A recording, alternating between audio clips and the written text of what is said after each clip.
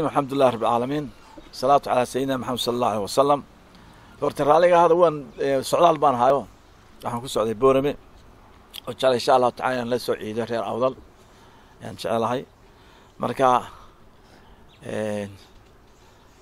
qoladan akademiga soo maha aqoontiga dhaqanka ee reer salil ayaa markaa tiri aan ka faa'idaysano waktiga shahaad baan ku siinaynaa. Waa ilaahay mahadii subxaana wa tacaala hadda shahaada ilaahay oo shahaada la bixiyata ilaahay baa ugu xoreyn subxaana wa tacaala waxaanu qabanna horta waa waajib weeye. Inaan dalkeena aynu ku soo rogno cadaaladda qofkii wanaag sameeyana in la dhiirigeliyaa dadkeenu mabu aqoono dadkeenu inta xun buu iska sheegaa. Waan waay weli qof reer soomaaliya qof reer soomaaliya wanaag ka sheegaya. Negativeka ayuun bay sheegaan marka waan aad mahadsantihiin reer salil waa idka guddoomiya insha allahu tacaala. Lakin waxaa idiin sheegaya waxa weeye somalilan dib baynu u eeginaa. Shan iyo labaatankii sannadood habkan ku soconay hal qarannimo lagu gaadhaya maaha. Waxaan imka ku noolahay waxa weeye hab qabaa'ila dowladnimada qabiil laguma dhiso. Qabiilna waa buciido lama simi karo markaa waxaan doonayaa inaan suulino qabyaaladda. Inaynu shaksiga ka hadalno muwaadin kasta ka hadalno. Citizenship waxa la yidhaha ayaan sameynaa insha allahu tacaala. Oo sharciga u saman xilka waxaynu ku bixinaynaa karti iyo aqoon baynu ku bixinaynaa siyaasad ku bixini mayna insha allahu tacaala. Cadaaladana ka dooni mayna dimuqraadiyadda kitaabka ilaahay sunnaha rasuulka ayaynu ka doonay alayhi wasalaam halkaasay taallaa ayay taallaa cadaaladu dimuqraadi waa aragteen yoyotin buu noqday ino dad aan boqol sagaashan waxna qorin waxna qorin marka la yidhi dimuqraad baa tid way abuse gareeyeen waad aragtay waxaa tvdayna ka hadlaya madaxweynaha maalintu waan u tegey intaanu bixin maalintu baxayaan u tegey laba qodob baan idhi intaad adliis joogto ka soo saar mid waxa weeye qabyaaladda miidihii qabyaalad qoraha ee sii daayo in la ganaaxo. Afmiishaarka sheeganaya caaqile aan caaqile ahayn. Aabihii aanu caaqil ahaan jirin awogi ahaan jirin. Suldaan aan ahay jirin cumaamadda qaatay. Isna qabyaalada ku in isna sharci laga soo saaro.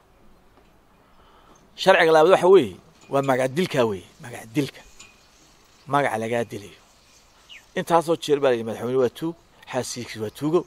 Daa soo caddeeyo qofka hadduu tuugo ku sheego waa mataqaana waa waa magacdilka u xun aadamka adigu sharci baa laga soo saara labadaa qodob haddii aan la soo saarin dee oo sharci kala celin dee oo qof kasta la caayo dee qabgacantaa la iskula tegaya marka labadaa qodob baan adigu ku tutusada. Waxaa imanka aynu ku noolahay ummadda oo dhan reer soomaali waxay joogta shanta sooma inaga inaga maadsata websaydadeena ka maadsada. Tiifiyadeena laga maadsadaa dumarkeena laga maadsadaa saxaafadeena laga maadsadaa saxaafadeenu inta ina yeesho cid ina yeesha ma jiro xumaan aan jirin baa ku doontaan microscope ku doontaan. Wanaageena intaa kama qortaan. Waxaa taa dhooqada ah. Iyo tan qabiilka ee majeerta jilibka halkan fadhiistay.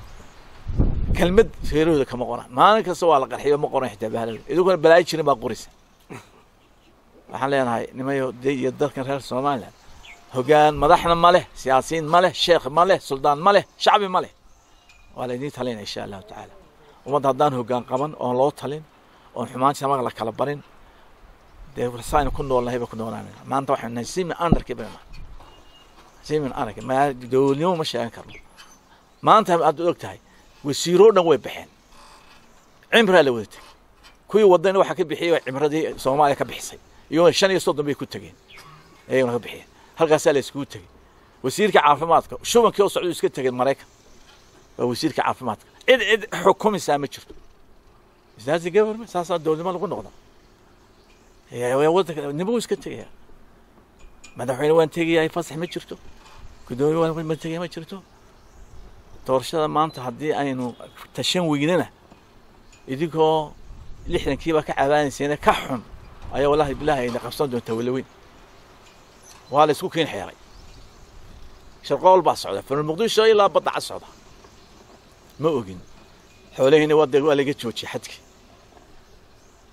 baamishina waa laga joojiyay inay galaan meesha. Wax meel inoo fiiqo ma jirto. Maalin kasta waxaa soo gala boqol qof oo etoobiya dalkeena yaa ka badan. Safaaraddana toban qol qol ee siisaa maalintii. Waa inay tobanka tobankooda quri soo galaan. Tobanka soo gala ee soomaaliya loo ogolaada fiisada tobanka tobanka wayga loo ogolaada waa ina xad kala xidha. Soo xadkeena nagama xidhno xoolihii ma geli waayin innagana waan ka xidhnaa. Qaadka ka joojinaa.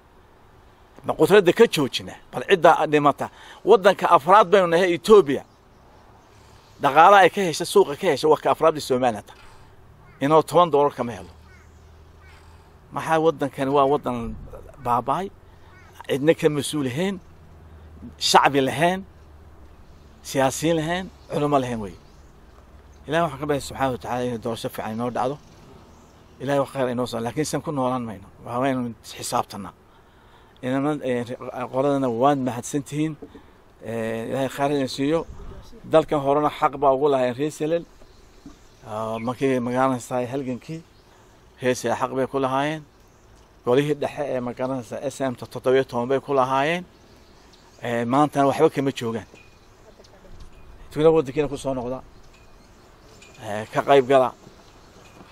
Dee wixii xaqa u leedihiin dalkan waa la xaq baa dacaalad dacaalad baa lagu xisaa cadaalad baa lagu xisaabtamaya. Darajooyinka la iska xidhxidhay en waxba lagu tarayin ha qaateen haddii wax qabanaya waxba maan qabanin haba qaateene hadday waddanka wadayaan. Ya waxba wadayaan. Foojiriga eegeen maxaa idinku jira maanta isbeer baan inagu samee shidaal ku qor beenbeena waa la talinaya insha allahu tacala dadka waa wixii loo dhintay ee loo hagma la sameeya insha allahu tacaala de waa mahadsantihiin xaggaasan ka soo sheegi doona insha allah hambalyada ciidda